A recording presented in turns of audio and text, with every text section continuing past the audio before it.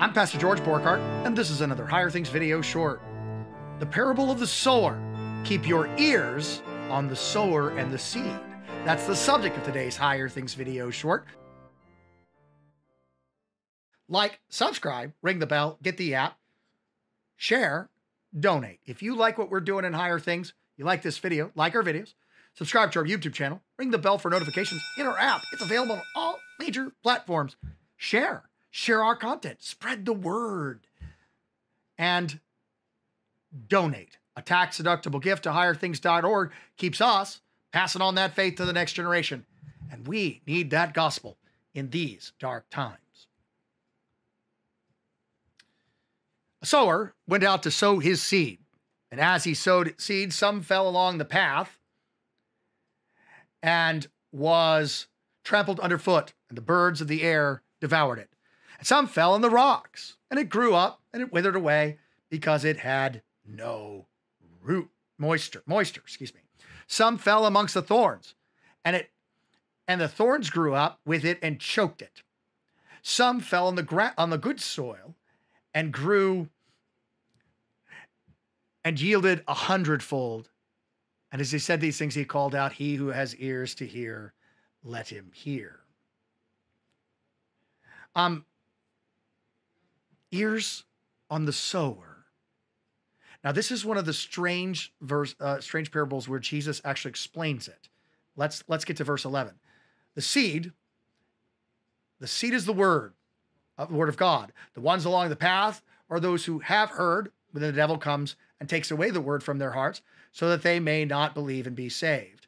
The ones along the the ones along the rocks are those when they heard the word received it with joy.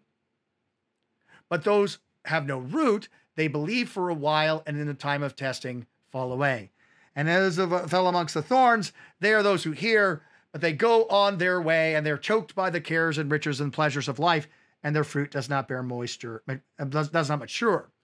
And those of the good soul, they are those who hear the word, they um, they hold on to it fast with an honest and good heart and bear fruit with patience. So, the surest way to get this parable wrong is to start looking at the ground. You start looking at the ground and you miss the point of it. You see, you can get distracted, you can get turned inward and looking at what kind of what kind of soil am I? What, what, what, am I the good ground? Am I the am I the rocky ground? Am I the am I the the road wayside? Do I does the word go a little bit and then and then not have root? Which one am I? And you lose track of the one who's sowing the seed. You see, faith is what this parable is about. Believing and being saved. Jesus says it when he explains the parable. He talks about the seed being snatched so that the person can't believe and be saved. You're going to be in your life all of these ground, all of these different types of ground you're going to be um, the ground that's fell amongst the thorns where you get distracted by the cares and riches and pleasures of life. You're going to be the ground in which um, the word you receive it with joy, but it has no root, and you believe for a while, and then you stop. You, you fall away from church. You're going to be the ground that on along the path where it bounces off the path, and the devil comes in and swoops in and takes it. And today, specifically, you are the good ground, receiving that word and believing. So let's like stop thinking about about the type of ground we are and fix our ears on the one who's going to the cross to save us. I mean, that's that's that's the deal. Um, we have we also know all these different people who like don't really fire for God, but doesn't have root and they fall away, or they or the, the word just bounces off of them and it doesn't even seem to pierce their armor. And then there's those who who who get distracted by the things around them. Okay, that, that's that. Okay, but again, only observe the ground in order to pay attention to the seed.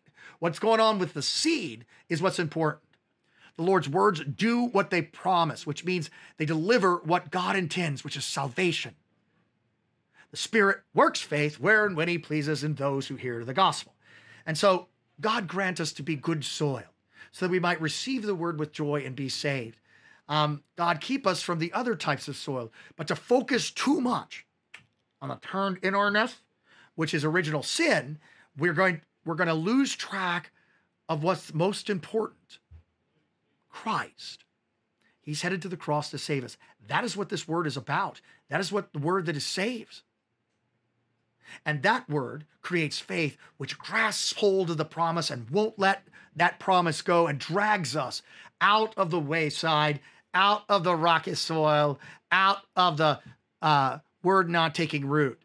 The only way that we're going to be any other soil other than be the, the good, the good, uh, only way we're going to be the good soil is if God pulverizes with his law in order to water us with baptism, the word, and his body and blood. So eyes on the sower, um, or better, ears on the sower. For he who has ears to hear, let him hear. I'm Pastor George Borghardt, and this has been another Higher Things video short.